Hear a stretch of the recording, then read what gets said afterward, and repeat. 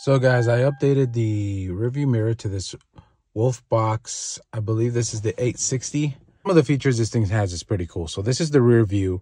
I hung my camera right there inside. You can you can scroll up and down if you wanted to, which is pretty cool. It's pretty wide also. Um, you swipe sideways and it goes to the front cam. Same thing with that, up and down, pretty cool. Swipe again, you get this split view, front and back. I went ahead and purchased this so you can hang it from your uh, original rear view mirror um, bracket thingy.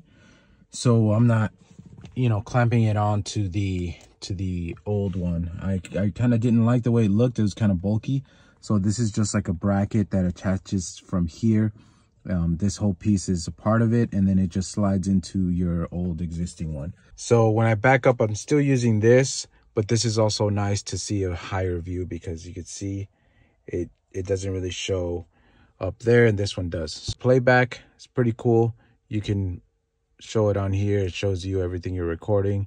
You can see there. You can switch from front and back, which I think it's this one. There you go. So this is the back. You see that, the front.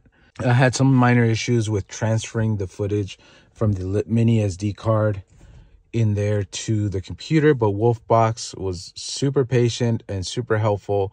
They sent me a bunch of cards to see what was the problem, and one of them worked, so everything worked out.